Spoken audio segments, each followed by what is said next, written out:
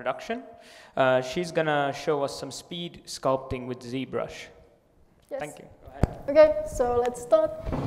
Uh, I will make a quick portrait in ZBrush from this default sphere. I will just start immediately because we don't have a lot of time.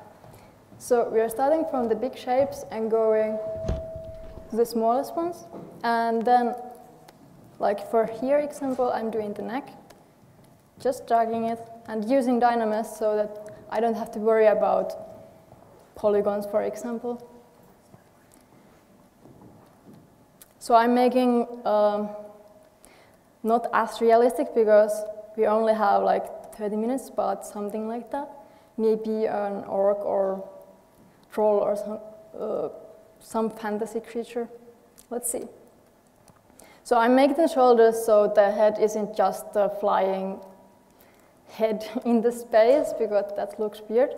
I'm using symmetry because it makes it a lot faster to do the head only on one side and then automatically getting the other side as well. So here I'm uh, just masking the nose and dragging it on its place, smoothing it out.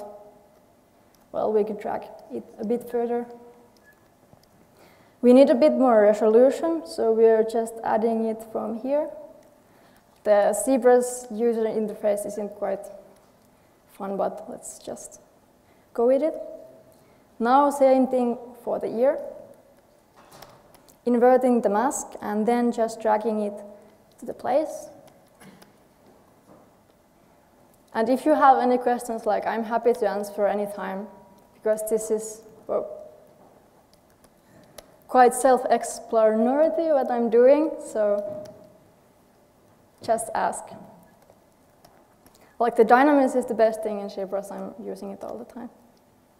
It looks quite weird now, I'm not used to doing and talking at the same time, but we have 30 minutes, so that's, that should be enough. Okay, so the eyes. Eyes are the most hardest part, I would say. So if I'm doing something weird, it's for the, just because the eyes are the first thing anyone is looking at when they are looking at a character. Whoa, we could maybe add a bit more to the neck, like that. And just make the eyes, so we're making a sphere. And using transparency to mask, uh, not mask, I mean moving and scaling it to the right place.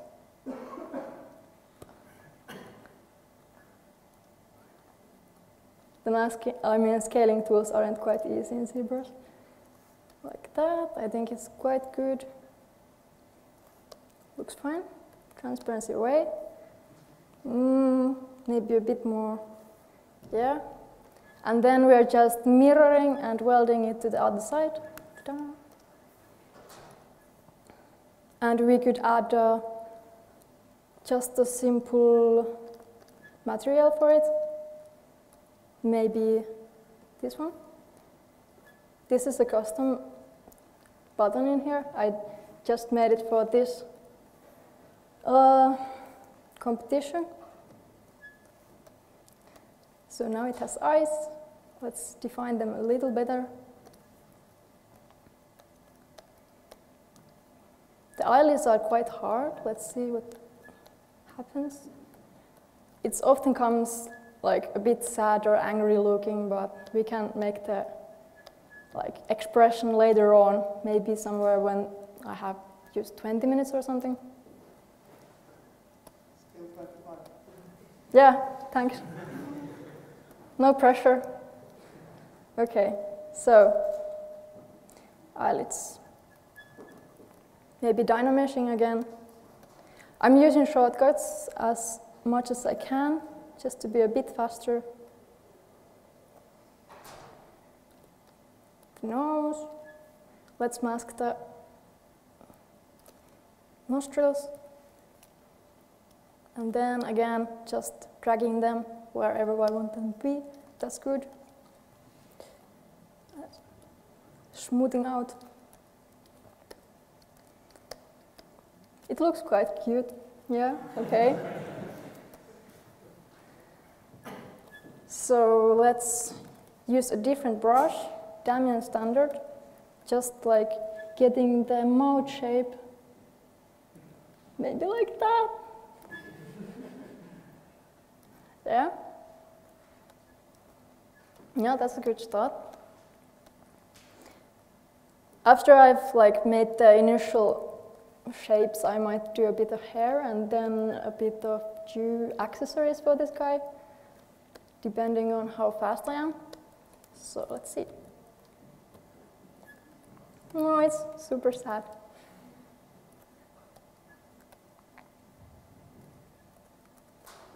With clay build-up, it's a different tool. I can make like these simple gestures that it would have some sort of muscle structure underneath.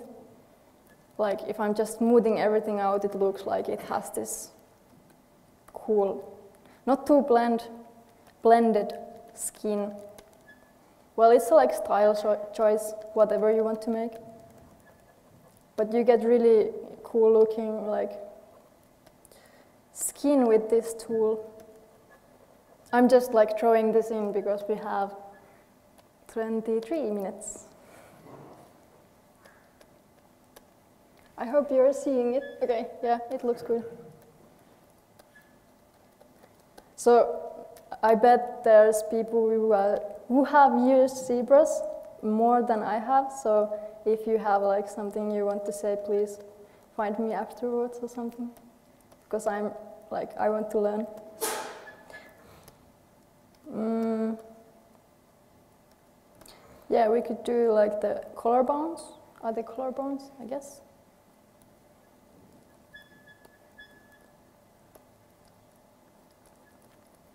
Simple muscle structure, smoothing out pretty simple stuff.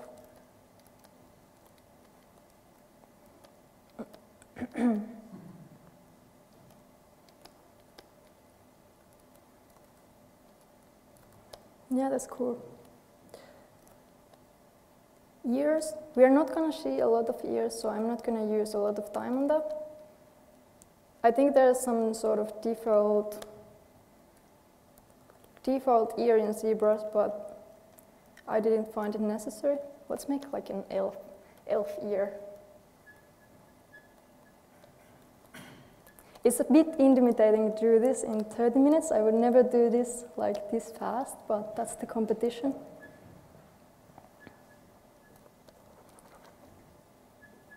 Smoothing out.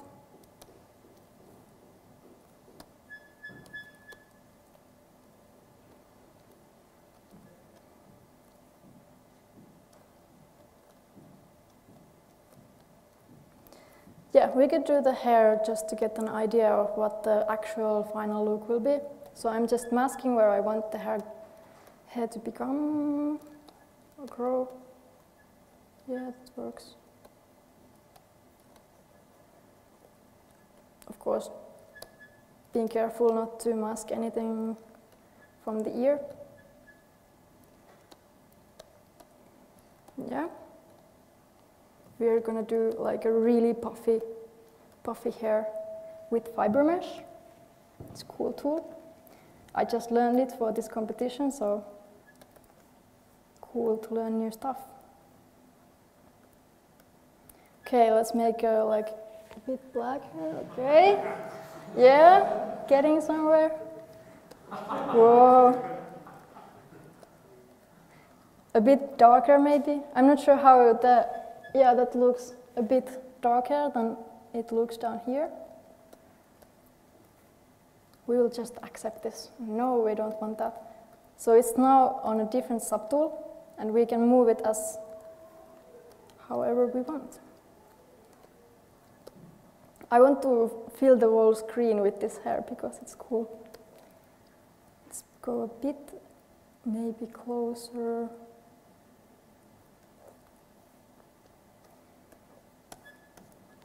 Yeah. We can kind of hide that it doesn't have a body. so now I'm not using symmetry because I don't find it necessary. maybe smoothing it, oh, not that one.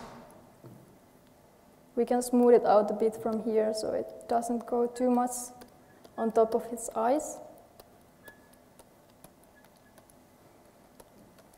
I really have to make something for the eyes because they're so sad right now.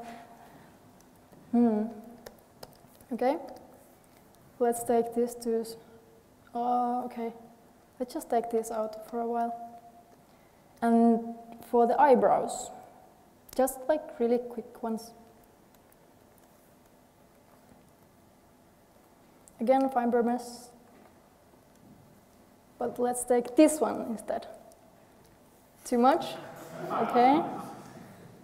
So maybe like something like this. Again, another subtool. This one. Yes. Now symmetry for the eyebrows. Make him like a bit angry. Yeah. That's fine. 19 minutes, I'm fast. Oh. Okay. Yeah, those are cool. Whoa. Hillobect. Hillobect.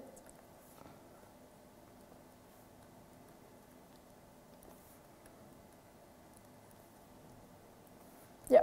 So, now that we have hair and eyebrows, I think I will define the face a bit more because it's not in the ideal form that I would like it to be. I would use ages for this face, like just defining the small stuff in face, like especially the eyes. I mean, it's about the little things that matter. So now that I'm rushing it, it's a bit funny looking. Yeah, it's getting better every second. The best thing in ZBrush is that you can do like really crazy stuff, like whatever you want.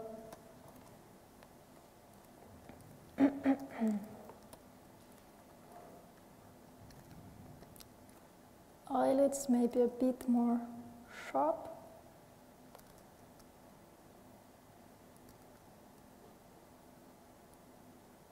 Hmm, yeah.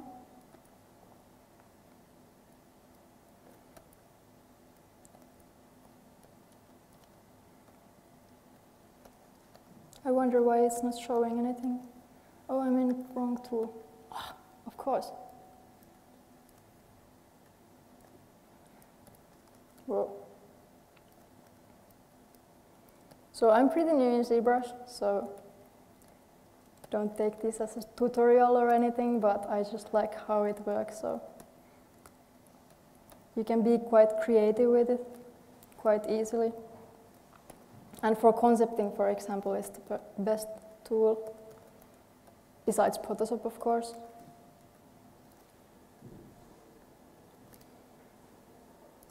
Mm, yeah, the mouth needs a lot of work.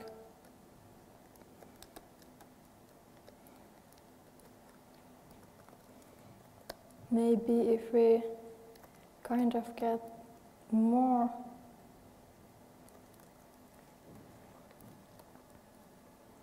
puffiness.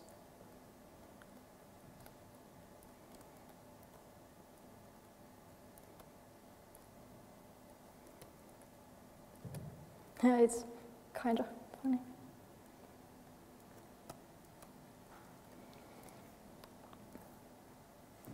So, this is what we have so far. Let's do like shading for it.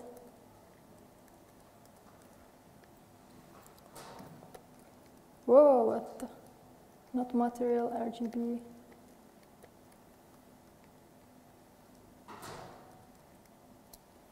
I'm just gonna use, no. It's in different mode. Ah, I don't know what happens. I don't know what happens. This is a new laptop, so I don't have any, any clue right now. Okay. If I can help the computer, just, just ask. Yeah, it's just more like ZBrush stuff because I don't know what happened. The whole thing got somewhere. I don't know.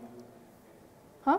Probably you have uh, to bring it, there has to be a thing that brings it back to the main view. Yeah, It's like the camera's changed. camera. Yeah. Because it's still in the, notice it's showing the, Yeah, can I just frame it? No? there should be like a center. What about that zoom Floor. right there below the hand? There's a floor. Well, this is weird. This never happened. I did this guy like a lot of times. Hmm. Um, I think you need the uh, head object. What? Like a small eye icon, straight out. Can you repeat? The eye icon to the right, to, like, yeah, right there. Yeah, it's not it. This is a shame. No, it should be here. I can see the transforming tools, but I can't see the actual mesh for some reason. Can? Can I maybe render it? No, I guess not. Well, that would be weird. Okay. Maybe if I go to another. Ah, damn it. you have time to make a new one. A new one. Yeah. Can you save actually and open it again? Like save the file, close the program and open it again? Well, let's try. Because sometimes that, Desktop. switch it on and off. I can make a new one in 10, 10 minutes, I guess. Let's try. Load tool. Maybe close the. Did you close the software? No. Like I would actually close the software Well, okay. and then do it. Yeah. Then you can make a new one. This cost me 2000. Damn it. okay. Continue to trial. I can show you the like finalized version after this. So I'm still fine.